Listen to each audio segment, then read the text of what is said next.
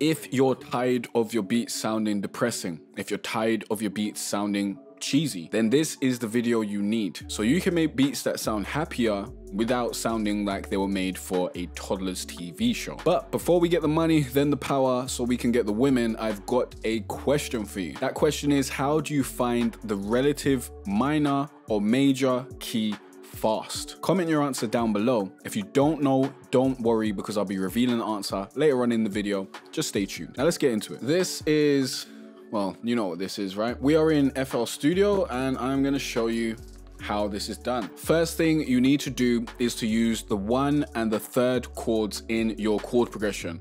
By the way, this is based on a minor scale. These chords, for example, in A minor are the A chord and the C chord. Let's quickly go to scale highlighting. A minor, that's all the white notes. These are the chords, A, C, A, C. Sad, happy, sad, happy. These are chords where the root note is the first note in the scale and the third note in the scale, respectively. This is also the root of the scale and the relative major. Here are two examples of chord progressions that use this, okay? So let me just play this on the piano. I'm terrible at playing stuff on the piano, so bear with me, but it'll be easier. We'll start with the A, which is the root note and then we'll go to the three.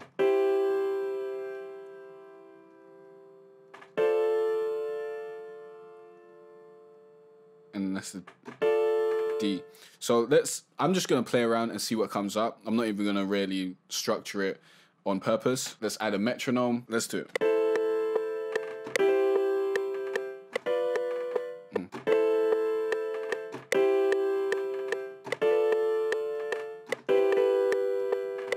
messed up a little bit at the end, but we got it, we got it, we got it, we got it. So this is what we got. Let me fix this up and I'll get back.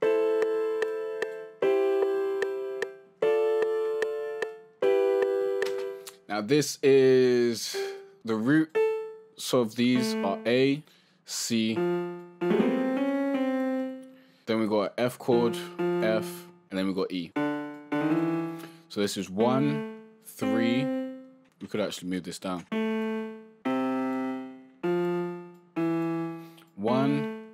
Three, five, four.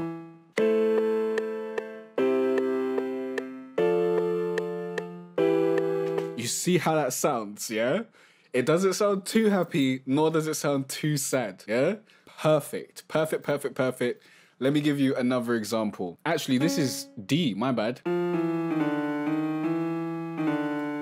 So this is one, three, four, five. Mm. I don't know why I always accidentally think that F is five. It's actually six. So let's play this back.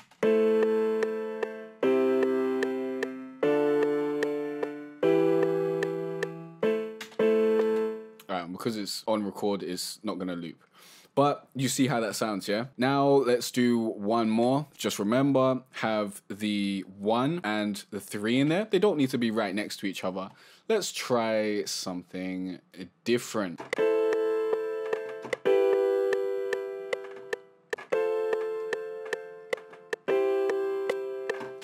had a bit of trouble transitioning from certain chords because I don't really use that a lot. Here are the chords. Let's play them back without the bass notes real quick.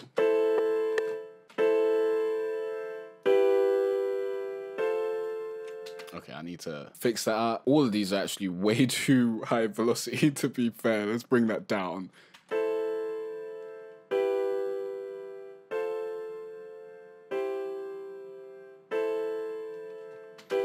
And this is A, and we got E, then we got F, then we have C.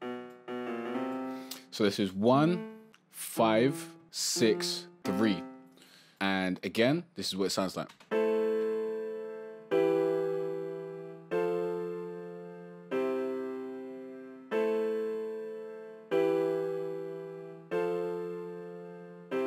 and usually I'd have everything an octave lower, so let's play it over here. But for some reason, my hand just always, it always, always consistently goes to this six octave. I think it's just because that's where the middle is in this keyboard. But let's play this back.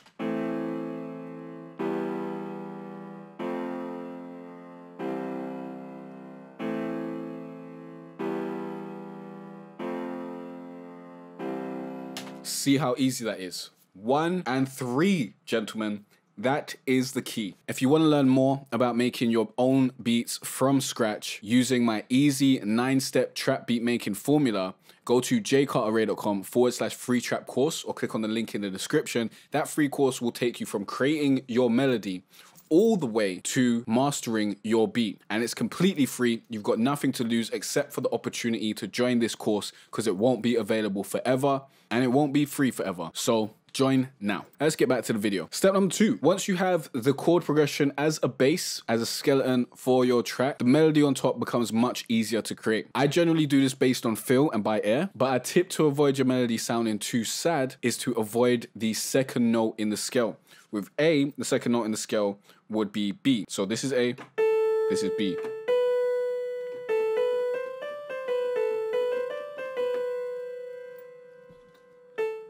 a mix of sad and happy notes creates a good medium that will have your melody sounding mostly happy, positive, and uplifting without sounding cheesy. Here's two examples of a melody over this chord progression. So what I'm gonna do is I'm gonna listen to this a few times and then see what we come up with.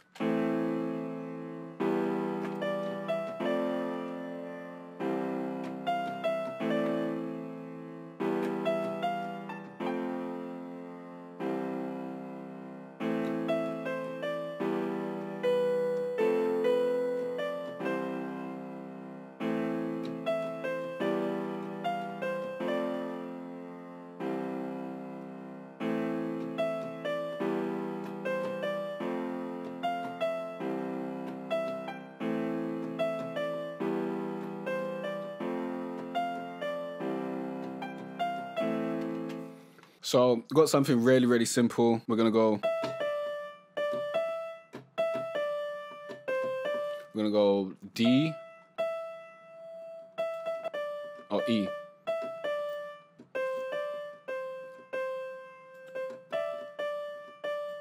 And then basically copy this across.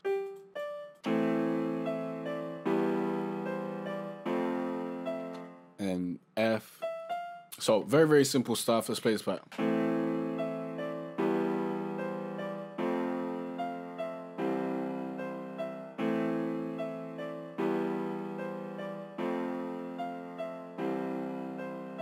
I'd actually go. That's what I want.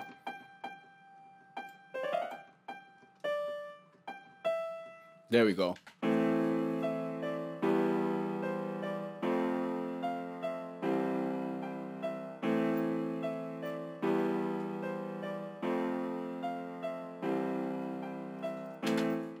And then you could have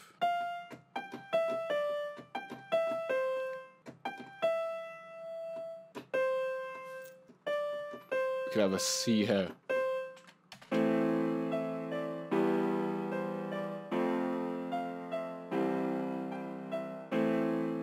Because this leads right back to the C very, very nicely.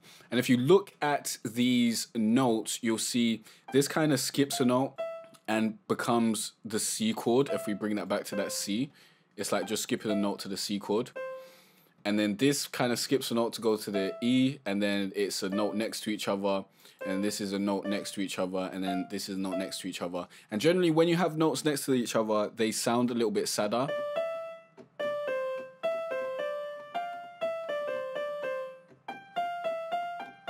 But it depends how you use them in it. So let's do one more melody.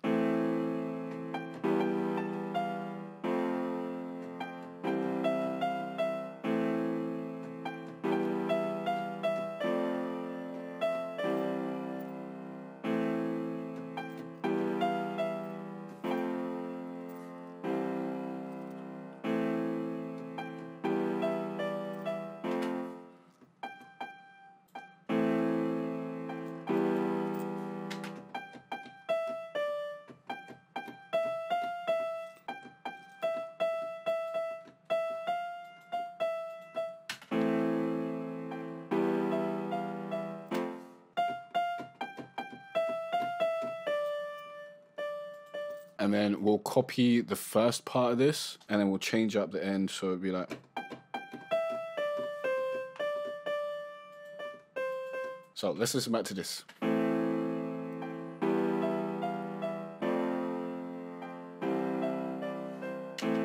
And then we can go to that A. Let's listen.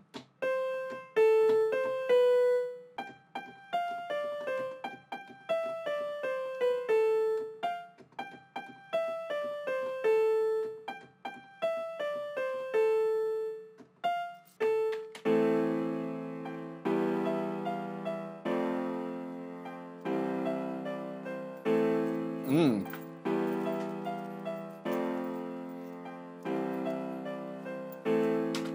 And we didn't use the B at all.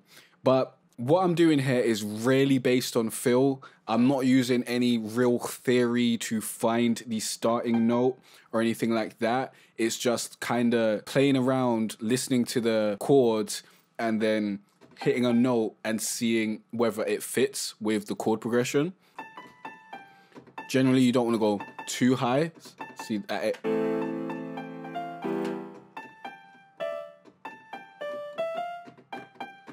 That A just hits a little too high for me personally. So I wouldn't go, that's basically two octaves up from your mm. root note. You really don't want to go that high. So the G's basically the highest that I'd go to but generally I stay quite close. I might be like around the D.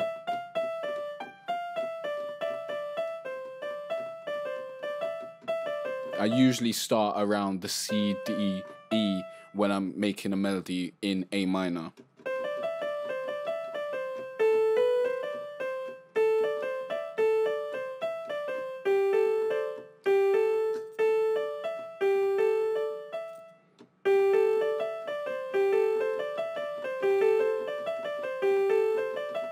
But you could start with A. So generally, I'd go from the A to the G, okay? So one octave above your root note to just below the second octave.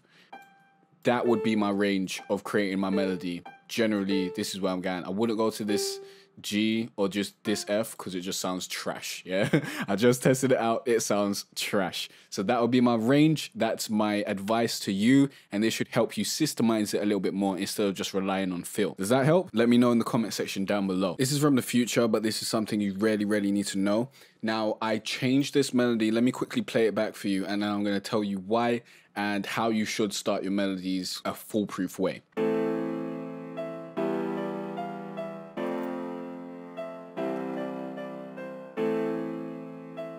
So that's the change. I basically moved the G from G to E, and then I've moved everything down accordingly so it works with what we've got here. Now, the reason why I did this was to just check it out because the, the G was sounding a bit off to me. Uh, I was about to close this project down because I'd have no need for it, but I was just being curious. And I realized that I usually start my melodies on the E. And if you check out these chords, they usually have an E. E is the perfect note to start your melody on that will always sound great, okay? So this is, let's quickly check. A, B, C, one, two, three, four, five. The fifth note of the scale. Use E and you're gonna get great results every time. Well, if you're using A minor. Use the fifth note of the scale on whatever scale you're using. And I believe that is generally going to be a note that is going to sound beautiful in any scale. Let's quickly change this to a different scale.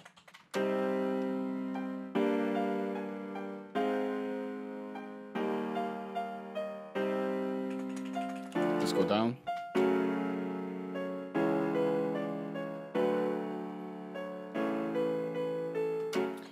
That E, trust me, trust me. So the limit that we're gonna place on our melody will be from A, so one octave up. You have wherever your root note is, one octave up. That's where you start, and then we'll go to E to start the melody.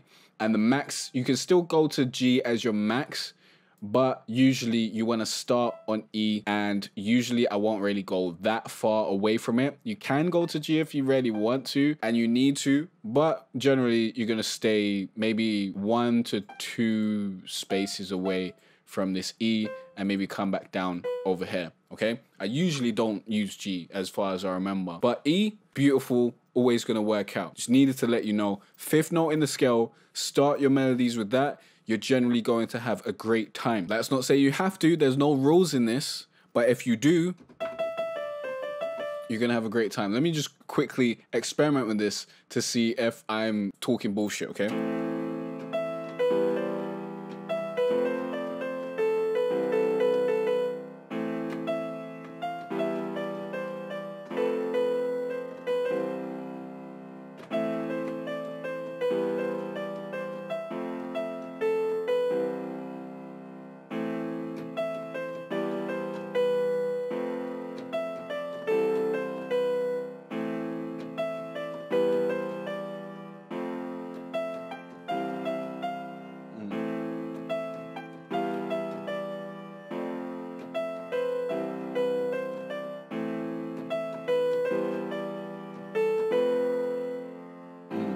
So if you go.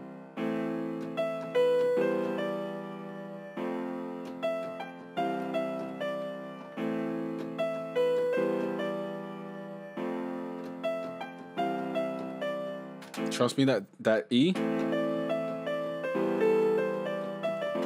generally gonna have a great time. You can start with D and stuff and, and and C and you can start with other notes as well. But that E, you're never gonna go wrong with that E. That E sounds perfect in the scale wherever you put it. So find a way to to get that E in there and you're gonna have a good time, okay? The fifth note of the scale, you find a way to get that in there, you're gonna have good time. So build your melody around the fifth note in the scale, whether you're going up to it, whether it's like part of your melody, whether it's the start of your melody, and you should have good vibes. Just another tip I thought I'd add in here, although it's gonna make this editing process a whole lot longer I felt you deserved it. Earlier on in this video, I did ask you a question and I told you I'd reveal the answer later on in the video. And I'm a man of my word, so let's do that right now.